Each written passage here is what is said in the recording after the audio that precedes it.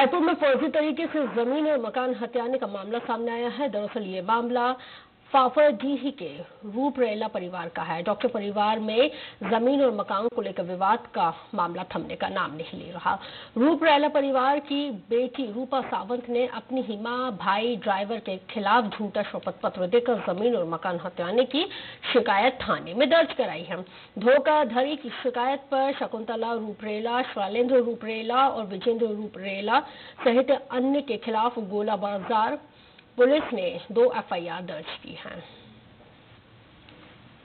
ये जो रुपरेला परिवार है इनकी एक बेटी है उनने आरोप लगाया कि उसकी माँ और बहन भाई जो है मिल करके इनको मतलब फर्जी दस्तावेज़ दे करके उनके संपत्ति को हड़प लिए हैं इसी पर जो है गोलबाजार थाने में चार सौ बीस का मामला दर्ज। इंदौर में कैलाश